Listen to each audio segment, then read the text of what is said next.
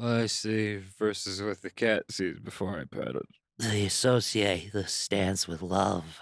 Fear it. New cryptid. Exhausted woman at Starbucks. Hi, welcome to Starbucks. What can I get you today? How much is it to fill a venti with espresso? I'm sorry? A venti cup. How much to fill it with espresso? Oh, uh, well, it'd be, I suppose, I, I, I only have a button for a quad. I don't have special pricing for like 20 ounces of espresso in a single drink. Price is the furthest thing from my mind right now. How many ad shots is that? It, it, it- it'd be a quad with uh, 16 additional shots. Help me. The rules to learning English. There are no rules. I see what you did there. My eyes are burning. No, no, no, no, no. It's I see what you did there, not what. Do it right. Oh, I did it right, but I do not want to. I hate everything about this. Oh my god, he's turning the tiles brown. He needs to be contained. It's an SCP. Fools. This was a white code. You can see the white markings on him. He's been soaking up the brown and he's only got one square left. Let him finish his work. he's stealing the brown. Rich people are like so easily convinced about ghosts. I remember growing up, it was near like this vacant lot. And whenever I broke a toy, instead of like going to face the wrath of my mother, I would just fucking bury it in that lot. And then sure enough, some dude tried to develop the land and found a ton of buried rotten dolls shit and told everyone it was haunted. It's been over a decade and that lot is still vacant. You single handedly take the value of someone's prime real estate, and that makes me happy. As soon as I read this, I immediately started thinking of ways to do this on purpose to get cheap land, and I was five posts down my dash before I realized I was becoming a Scooby Doo villain. Shit.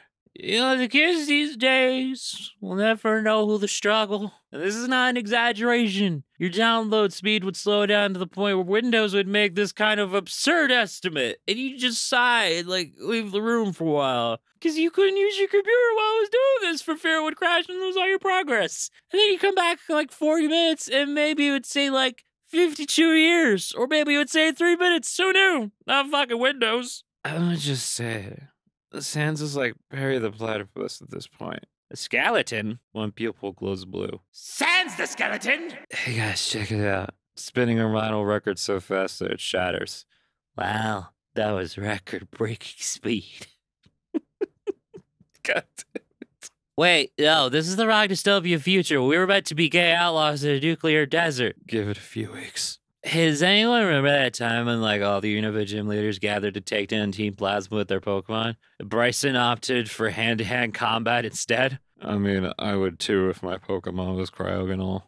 guys, guys. I want a live action B movie, but instead of adapting the animated movie, I want it to be 90 minutes of Jerry Seinfeld harassing random people in a dollar store bee costume. I would watch that movie in a heartbeat. Oh, you have ADHD? Name one. Name one. Uh, what was it? Oh, yeah. No, no, no. Wait, right, right, right, right, right. It was, uh, name one time you handled criticism without crying. Okay, you listen here, you little shit. How dare you? Yo. Nothing shows the face of pain like that one picture of Elmo crammed in a jar full of pickle juice. Uh, I'm sorry. wh- What? Pickle me Elmo.